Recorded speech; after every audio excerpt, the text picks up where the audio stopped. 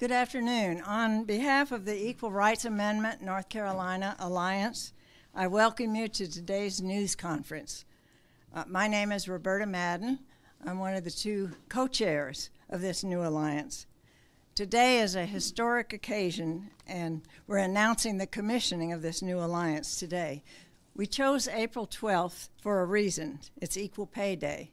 That's the symbolic day when the average woman's wages catch up with men's from the previous year. That's right.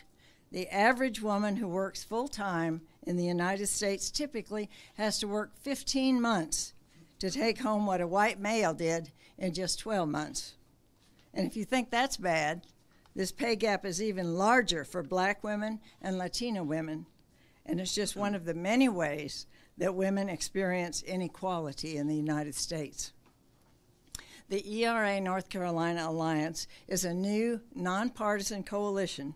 We're working toward ratification of the Equal Rights Amendment in our state as part of a nationwide strategy to gain passage, whether by achieving ratification by three more states to reach the 38 states needed for inclusion in the U.S. Constitution, or by starting over since in the late in the early 70s and the late 70s and the early 80s we were unable to reach 38 states although we did get 35 to ratify.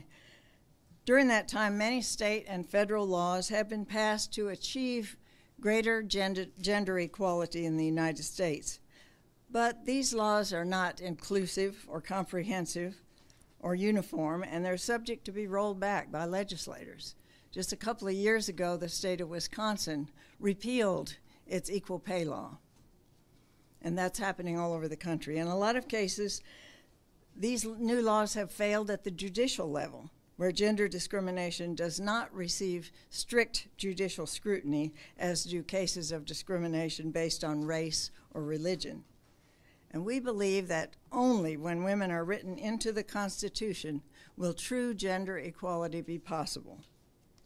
The political reemergence of the ERA comes at a time of significant unrest for women who are dissatisfied with the status of women's rights, both in North Carolina and across the nation. The demand for equal rights is rising in response to regressive legislation and ongoing practices seen as hostile to women in the areas of pay inequity, pregnancy discrimination, violence against women, and a lack of political parity. Last fall, Ratify ERA North Carolina, the organization which I represent here, hosted an ERA conference in Greensboro. We had leaders there who came from several other organizations. Following that conference and a series of conference calls, the participants decided we wanted to create an ERA alliance made up of state organizations and individuals advocating passage of the ERA in collaboration with the new National ERA Coalition. Membership in our alliance is open to individuals and organizations committed to ratification of the Equal Rights Amendment. At this time, we've got a lot of lead organizations already signed up, and more will be coming. These include the American Association of University Women, of North Carolina, the Democratic Women of North Carolina, the League of Women Voters of North Carolina, the National Organization for Women of North Carolina, North Carolina Business and Professional Women, North Carolina Women United, and the Women's Forum of North Carolina. And as I said before, the alliance is operating in direct coalition with the National ERA Coalition. Speaking at today's news conference are two distinguished advocates of the ERA. To my right is Dr. E. Faye Williams, who is the national president and CEO of the National Congress of, of Black Women. And to her right, Galia Paliga, the North Carolina Now state president. I uh, wanted to let you know that Senator Floyd McKissick of Durham and Granville counties was the lead sponsor of the ERA in the Senate in 2015. And he originally planned to be with us, but it was called to take part in a very important hearing on Medicaid expansion. Also, Representative Carla Cunningham, the lead sponsor of the ERA in the House, could not be here today because of a previous commitment. we have a letter from Jessica Neuwirth, who is president of the ERA Coalition, and I won't read you the whole thing, but there are copies out there on the table.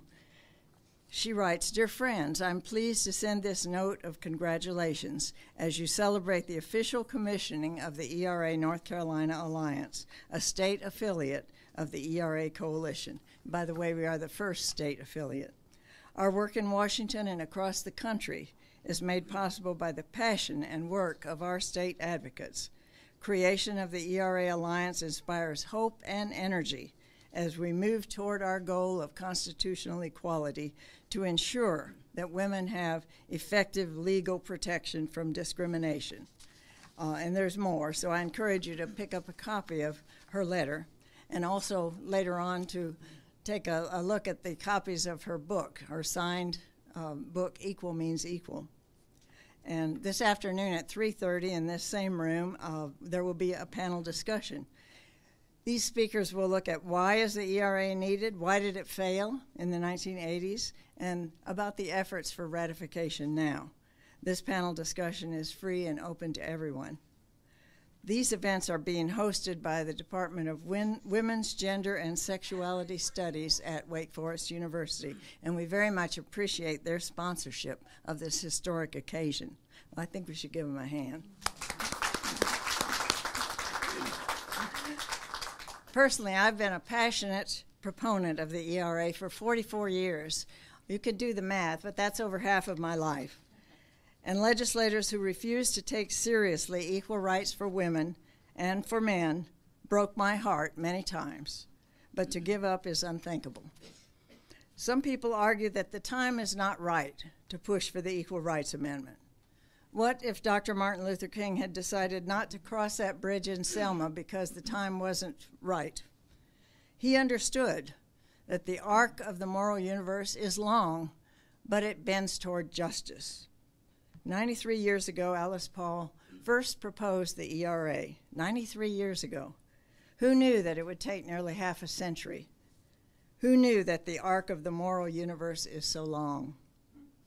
Now we're on the brink of a national consensus that women and men must have equal rights. The formation of our new ERA alliance is a sign that we will never, never, never give up.